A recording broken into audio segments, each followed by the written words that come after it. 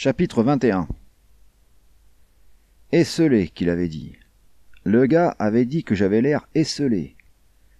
Et j'avais des compagnons de toutes sortes, de toutes sortes, tous morts. Tous surgissaient devant moi quel que soit l'endroit où je regardais. Tous ils riaient, et ils pleuraient, et ils chantaient dans ma tête. Tous morts, et morts pour rien. Tous morts pour une gonzesse née dans la pourriture, et qui, jour après jour dans sa putain de vie, est devenue de plus en plus pourrie. Je suis allé la voir, et je l'ai ramenée chez moi. Je lui ai parlé de Staples et de comment j'avais perdu l'argent. Je ne lui ai rien caché. Et d'une certaine façon, j'espérais, voyez-vous, qu'elle me critiquerait ou qu'elle me ferait chier à cause de ça. Mais elle n'a pas moufté. Elle a été sympathique. Elle a eu de la peine pour moi. Et elle s'est comportée comme si ce n'était pas important pour elle. Du moment qu'elle pouvait rester avec moi, il n'y avait que ça qui comptait pour elle. J'ai commencé à me dire que je m'étais peut-être trompé à son sujet, à penser qu'elle était bien la super petite que j'avais cru qu'elle était au début. C'était plutôt dur à avaler, et bien sûr, je n'arrivais pas à m'en persuader complètement. Mais j'y suis parvenu suffisamment. Suffisamment pour m'empêcher de la frapper. Suffisamment pour la supporter. Pour le moment. Elle était tout ce que j'avais, voyez-vous. Tout ce que j'avais gagné en échange de tout ce que j'avais fait. Et il fallait que j'aie quelqu'un avec moi. J'avais presque toujours eu quelqu'un avec moi. Je suis sorti et j'ai encore acheté du whisky. Et j'y ai presque laissé mon dernier cent. Je suis revenu et on a parlé et on a bu. Au bout d'un moment, elle parlait et je buvais. Et peu de temps après, elle a cessé de parler et j'ai continué à boire. Elle s'est endormie la tête sur mes cuisses. J'ai perdu connaissance. Quand le matin est venu, on était encore là, sur le canapé. J'ai préparé du café et des tartines grillées. Je ne voulais pas qu'elle trifouille dans ma bouffe. Je lui ai dit de se grouiller de rentrer chez elle et de rassembler tout ce qu'elle voulait emporter. Elle s'est dépêchée de partir, et je suis retourné dans la chambre. J'ai foutu toutes les affaires de Joyce dans un grand carton. Les vêtements, les produits de beauté, les articles de toilette, tout. J'ai porté le carton jusque dans la ruelle, et je l'ai posé à côté de la poubelle. Ensuite, j'ai pris la voiture et je suis allé au magasin. Les autres vendeurs avaient déjà pointé, et Staples était seul. Il m'a donné le contrat pour l'argenterie et j'y ai collé une allumette. Je l'ai laissé tomber et j'ai piétiné les cendres. Tu es vraiment un dégueulasse, dit-il, la bouche en cul de poule. Mais je ne devrais pas te gronder. Ton argent, Franck, je te donne cinquante dollars tout rond. J'ai pris l'argent sans rien dire. Je lui ai lancé un regard long et dur. Et puis j'ai fait demi-tour et j'ai commencé à m'en aller. Franck, il y avait une touche d'anxiété dans sa voix. Quel est. Euh, quel est ton projet, Franck?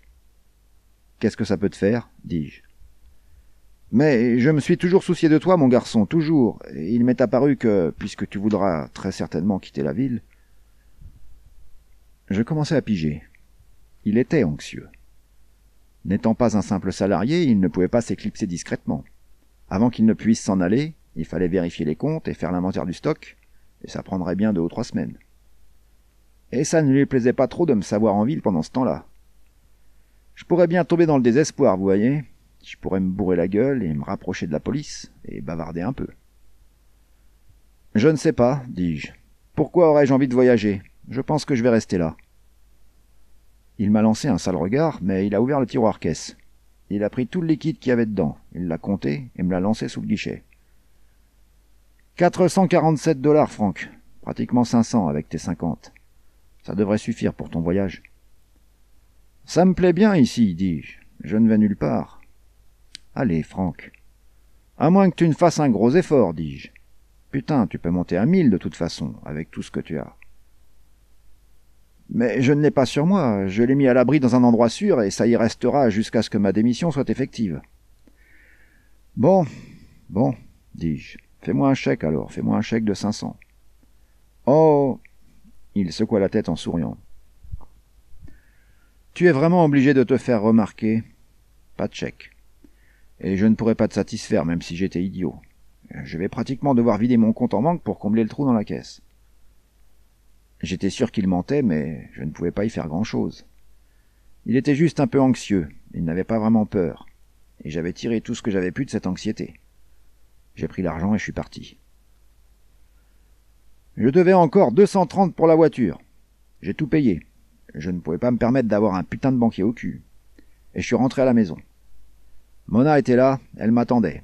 J'ai rassemblé mes affaires et j'ai mis tous nos bagages dans la voiture. Il y en avait un bon paquet puisque je m'étais dit que je ferais mieux d'emmener les affaires de Joyce. Il n'y avait pas ses initiales dessus et c'était de la très bonne qualité, et ça aurait pu faire bizarre si je les avais laissées. J'avais toujours bien réussi à Omaha. Je veux dire, aussi bien que partout ailleurs. Je suis donc parti dans cette direction. Et on y arrivait à la tombée de la nuit. On s'est arrêté à un snack pour manger un morceau. La serveuse m'a apporté un journal, j'ai jeté un œil, et ce fut notre dernière halte dans Omaha. J'ai repris la route et j'ai roulé pratiquement nuit et jour, vers Des Moines. Puis je suis descendu vers Grand Island. J'ai poursuivi jusqu'à Denver. J'ai vendu la voiture à Denver au prix minable de 325 dollars. Et on a continué le voyage en autocar. Ouais, je suppose qu'elle se demandait à quoi on jouait. Ou peut-être pas. Elle n'avait pas assez bourlingué pour savoir quand quelque chose était bizarre ou pas. Alors, peut-être que ça ne la perturbait pas. Quoi qu'il en soit, elle n'a pas posé de questions, et elle n'a pas cherché à m'emmerder. Et ça valait bien mieux pour elle. J'en avais eu ma dose, mon pote, tu vois ce que je veux dire? Et j'avais l'impression que ça allait continuer comme ça. Car Staples avait mis les flics sur une fausse piste. Il leur avait dit que j'avais un billet pour un bateau et que j'avais probablement l'intention de prendre la mer. Mais ça n'avait pas servi à grand-chose. Rien ne servait à grand-chose. La coupe à la brosse, lunettes en écaille, la moustache. J'étais quand même mort de trouille. Je n'osais m'installer nulle part. C'était horrible. La plus horrible poisse qu'un gars ait jamais eue dans sa vie. C'était... Nom de Dieu, c'était vraiment pas juste. Dites-moi maintenant, avez-vous jamais entendu parler d'une cargaison de charbon qu'on aurait transportée autrement que sur un train normal? Bien sûr que non. Ni vous ni personne d'autre. Mais pour ce wagon, ce wagon-là, il a fallu qu'il fasse une exception. Ils l'ont accroché derrière un train express, et jusqu'à Kansas City, il ne s'est pas arrêté. Il est arrivé là-bas le lendemain à midi, et ils l'ont tout de suite déchargé. Ils ne pouvaient pas attendre, ces enfoirés. Et moins d'une heure après, le médecin légiste récupérait le corps. Eh bien, si peu de temps après, c'était facile de fixer l'heure du décès. Et ils savaient que le corps n'avait pu être mis dans le train qu'à un seul endroit. Ils ont donc envoyé un télégramme aux flics de cet endroit, et les flics se sont mis à fouiner partout, et ils ont trouvé le carton avec les affaires dedans, dans la ruelle de derrière, à côté de la poubelle. Il fallait que je continue de bouger. Je n'avais presque plus d'argent, et il fallait que je continue de bouger. Et si je n'avais pas eu à me la traîner, enchaîner à une putain de salope. Bon. Bon, finalement, elle s'y est mise elle aussi. Je n'en avais pas assez bavé, je pense, alors il a fallu qu'elle s'y mette. À tout le temps me regarder comme si j'étais un putain de monstre ou quelque chose dans le genre. À ne jamais rien dire, sauf quand je lui parlais. Vous voyez tout plein de petites choses. Petit à petit, elle me bousillait. Et d'une stupidité. Tout ce qu'elle savait faire, c'était éclater en sanglots. Et elle ne ratait pas une occasion de le faire.